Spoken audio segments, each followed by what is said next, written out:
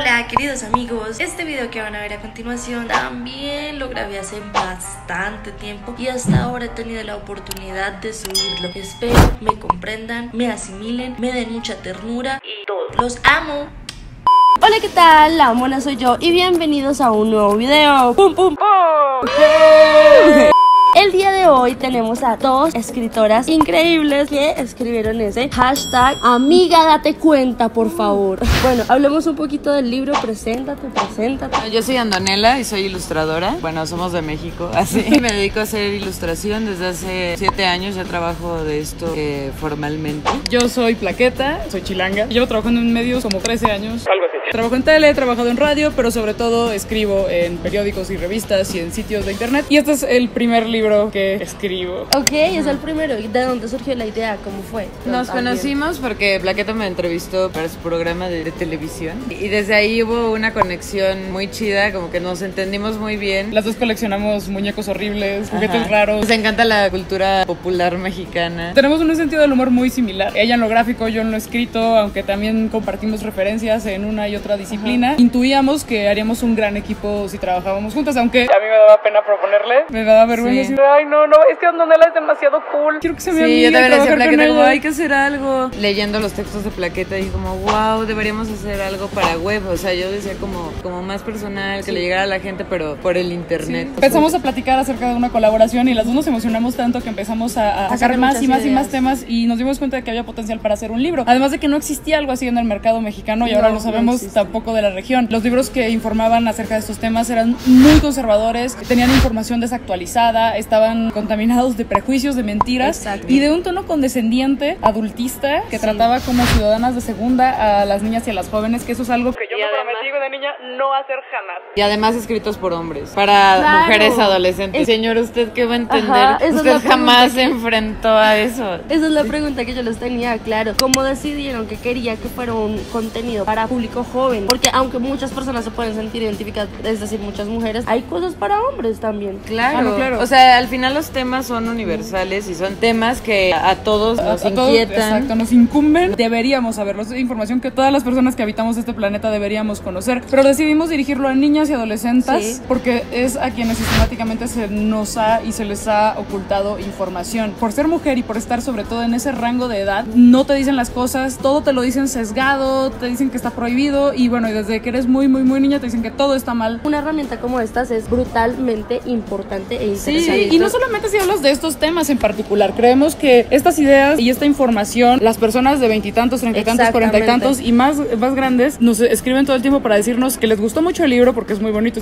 es, entretenido, es divertido, está con, con un lenguaje muy directo y que aprendieron muchísimo. Nosotras también aprendimos muchísimo. Sí, porque al final son temas que toda la vida te los han ab- abordado de otra manera. Literal es como quitarte una venda de los ojos y Exacto. hashtag darte cuenta. Tu destino no tiene que ser como el que te corresponde por, por haber nacido damita. Damita. mujer. Incluso en tus YouTubes, yo como ya señora mayor, hablas de política o de medicina o de manualidades o de maquillaje o de el mundo inmobiliario, de lo que sea. Todo, todo está atravesado por el género, de Es una u otra forma. Ay, no es cierto, es que ya ven machismo en todos lados. Pues sí, ¿cómo Sí, ven que sí? ¿Cómo ven que sí? ¿Qué opinan ustedes del lenguaje incluyente? Le echamos burla un montón en, en- en el libro a los viejitos de la RAE, porque decimos como estos viejitos se encargan de controlar nuestro idioma cuando tienen definiciones súper feas como El amor. la del amor, ¿no? O la, Sí. o la de mujer, eh, eh, sexo débil. Ajá, o sea, el grupo como- de las mujeres, ¿qué? Sí, lo que digan los viejitos de la RAE o no, tampoco creemos que sea como la última Es palabra. Sí, si los viejitos de la RAE dicen, no, no nos parece bien que eso del lenguaje incluyente, porque el masculino ya nos incluye a todos, mírennos. Así son, Ajá. así, 90% señores. ¿Qué? Como leyeron en el título de este video, vamos a hacer un tag, es decir, unas preguntas de un tema en específico que en este caso es el empoderamiento femenino. Les voy a hacer unas preguntas de su opinión personal y ustedes las van a responder. Una mujer que las ha inspirado por sus escritos y demás. La primera que se me vino a la mente y que pues iba a sonar súper de cliché, pero de que en mi vida sí, Sor Juana, o sea, en, en México sí es como... Alguien que está en el libro. Ajá, justo. Una mujer que sí fue completamente adelantada a su época y que aparte rompió con todos estos, pues esas cosas horribles que la- le tuvieron que pasar. Yo llegué tardísimo al feminismo, tengo que decirlo. Sé que es un personaje muy problemático, pero cuando era niña, creo que sí me marcó y fue muy determinante en mi personalidad, Gloria Trevi. Porque a pesar de que después se reveló que es un personaje muy polémico y como con una vida muy, muy dudosa, aunque yo sé que Gloria Trevi es inocente, los medios eran tan misóginos y tan conservadores. Ver a una mujer que hablaba de agencia sexual, que bueno, no era algo que yo pudiera nombrar, que rompía con todo lo bien portado que me decían que tenía que ser. Tenía este pelo El que pelo en la escuela la- intentaban controlar y que no solamente es el pelo, sino todo lo que significa y la carga discriminatoria que hay en contra del pelo chino, que aquí es pelo crespo Sí. hacía lo que se le daba la gana y que además cantaba cabroncísimo y tenía unas letras fantásticas. Libros sobre empoderamiento que recomiendan, obviamente aparte de Amiga Date Cuenta. Ay, a mí me encanta Idiotizadas de Moderna de Pueblo. es muy divertido. Creí que también se inspiraron un poco en ella No, para salió, No, salió de- antes. No, salió, Salió mientras estábamos haciendo. Al mismo tiempo. Ok. Sí, bueno, yo seguía moderna Sí, desde sí, ese sí. tiempo y como que ese humor. Lo que pasa es que todas estamos viviendo estos problemas y si eres ilustradora, igual todos estos temas te están moviendo, pues al final los mensajes que vas a dar son los Igual mismos. creo que son edades diferentes. Idiotizadas para mí es alguien más grande, o sea, Claro. para mujeres quizás más sí. grandes, pero este sí es algo como, si yo tengo 10 años y lo leo, voy a entender Sí, muchísimas sí. cosas, al igual que si tengo 20. Un rango de edad más pequeño. Yo quiero recomendar un libro que se lanzó, se acaba de lanzar en esta feria, que es el de Catalina Ru- Ruiz Navarro, que Las mujeres que luchan se encuentran. Tuve el honor de escribir el prólogo. En el prólogo digo que es Catalina lo explica todo, porque ahí están las respuestas a las preguntas más frecuentes acerca de feminismo, acerca de qué es ser mujer y cómo es ir contracorriente en la región, en nuestra región. Un libro además muy fácil de leer, muy entretenido. Ella lo describe como una carta de navegación, como una especie de mapa para después entrarle, obviamente, a más lecturas, porque esto es un proceso que nunca Enorme, termina, nunca, exacto. nunca, nunca dejas de leer. Siempre descubres más cosas. Momento en que empezaron a entender y estudiarlo. O sea, tú dices que esta llegó tarde, ¿qué pasó ahí? Eh, sí, yo llegué tardísimo porque en mi familia, en mi grupo cercano y sobre todo en mi generación no había mujeres que se asumieran feministas. No, nunca conocí a También ninguna. por miedo, porque ahorita la connotación del feminismo está siendo muy negativa. Siempre lo ha sido. Sí, es sea, una palabra llena de estigmas. No tenía esa referencia, entonces yo creía lo, lo que todo mundo creía y que todavía cree cada vez menos, afortunadamente, que era lo mismo que un machismo, pero al revés. O sea, no me tomé la molestia de googlear qué es el feminismo, voy a tener suerte. Hasta que sí, hasta que empecé a tener amigas que se asumían, gracias a las redes sociales, que se asumían feministas y lo que decían eran afirmaciones que tenían todo el sentido y planteamientos muy interesantes. Entonces googleé 10 minutos y dije, ah, no mames, sí soy feminista. A mí tampoco hubo como un momento determinado en el que yo dijera como así despertó un día y ya soy feminista, sino que fueron como toda una serie de eventos que se fueron citando a lo largo de mi vida. Eran unos que me molestaban. Como porque yo no podía tener el pelo corto eh, cuando era niña, ¿no? Igual en la escuela era como, ay, la machorra. Ajá, Siempre ok. fui la machorra. Como, ¿por qué? O sea, porque yo no puedo hacer las cosas que hace mi hermano. O sea, cosas así que, que sabemos que no está bien, pero no sabemos por qué. Y la rivalidad entre mujeres que, o sea, yo sí pasé Uh, toda la es con esa rivalidad que digo, me, me perdí de tantas amistades que hubieran sido muy chidas, pero afortunadamente, o algunas de las chicas con las que tenía como ese pique que ellas también lo tenían conmigo ahora, también son feministas y ya. Total, Como que sabemos yo. que... Hashtag que- sí, sororidad, o sea, sí, sororidad. sí. No está mal aceptar que fuimos así. La siguiente pregunta es, ¿cuál es el estereotipo que más les ha costado salir de ahí, como dejarlo atrás? Yo estoy aprendiendo a reclamar mi derecho a enojarme y a no tener que disculparme por eso. ¿Sí? A gritar y a ser la pinche loca que está enojada, histérica. Pues sí, güey. Matan en México a nueve mujeres al día por el simple Sí. hecho de ser mujeres. Todo el tiempo tenemos que andar con miedo, aguantando a viejos que nos quieren tocar en todos los contextos, no solamente en la calle, sino en el trabajo. Claro que estamos enojadas. Y a externar mi incomodidad, porque es muy, muy, muy fuerte cómo te condicionan a quedarte callada, a no exagerar y a No reprimir exagerar. todo eso que te molesta. Y que si te ponen de mal genio es como, ay, estos son tus días. No, Sí, no. no. Y si sí, ahí te va mi copa menstrual. Sí, en este momento estoy como también en ese punto de que estoy harta de que nos quieran callar. O Siempre me pasó en la escuela, que era como, ay, ¿por qué eres así? Ay, la histérica, la loca, la exagerada. O sea, sí.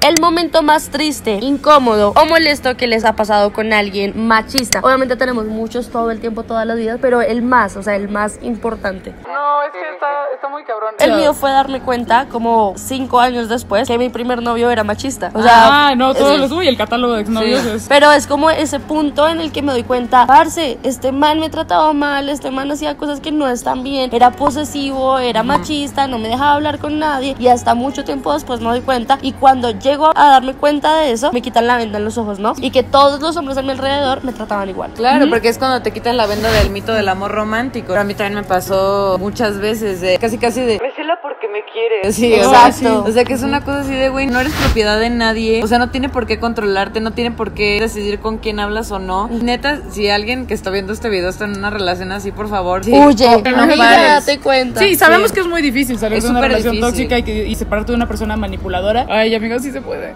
Yo sufrí acoso cuando estaba muy chavita por parte de alguien mucho, mucho mayor que yo y durante años yo me sentí súper culpable por eso. Cuando ahora me doy cuenta de que en realidad, o sea, las niñas no tendrían que pasar por esas cosas. Está súper normalizada la pedofilia. ¿Por qué un viejo asqueroso le va a estar diciendo porquerías a una niña, no? Para mí fue como un parteaguas, como que vivía en, así en el hogar de Pony, casi casi. Y a partir de ese hecho yo me di cuenta de que la gente es muy mala o puede llegar a ser muy mala. Esto ha sido un proceso de seguirlo trabajando hasta el día de hoy, o sea, porque no, no es algo sencillo.